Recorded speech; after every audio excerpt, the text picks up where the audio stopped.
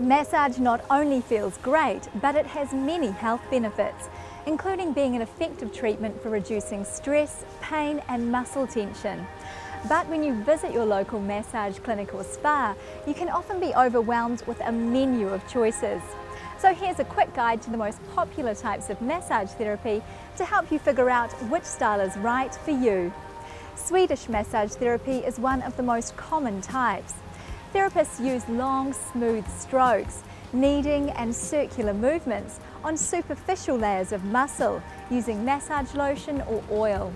Swedish massage can be very gentle and relaxing. If you've never had massage before, this is a good one to try first. Aromatherapy massage has the addition of scented plant oils, called essential oils, to address specific needs.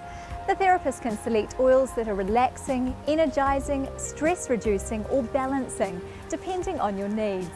It's particularly suited to stress related conditions or conditions with an emotional component.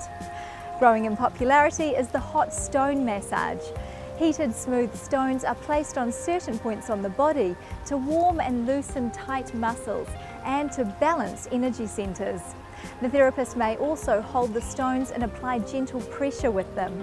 The warmth is comforting and hot stone massage is good for people who have muscle tension but prefer a lighter massage.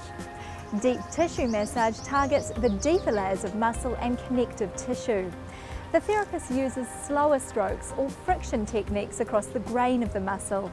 It's used for chronically tight or painful muscles, repetitive strain, postural problems or recovery from injury. And people often feel sore for one to two days afterwards.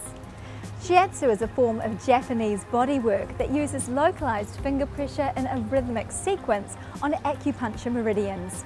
Each point is held for two to eight seconds to improve the flow of energy and help the body regain balance. People are normally pleasantly surprised when they try shiatsu for the first time. It's relaxing, yet the pressure is firm, and there's usually no soreness afterwards. Like shiatsu, Thai massage aligns the energies of the body, using gentle pressure on specific points. It also includes compressions and stretches. You don't just lie there, the therapist moves and stretches you into a sequence of postures. It's like yoga, but without doing any work. Thai massage is more energising and it also reduces stress and improves flexibility and range of motion. Sports massage is specifically designed for people who are involved in physical activity, but you don't have to be a professional athlete to have one. It's also used by people who are active and work out often. The focus isn't on relaxation, but on preventing and treating injury and enhancing athletic performance.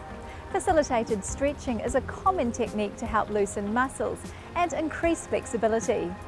Some massage clinics and spas also offer 30 minute back or head, neck and shoulder massages. These can be a great option if you have limited time or budget and just want an express treatment to relieve any tension or stress.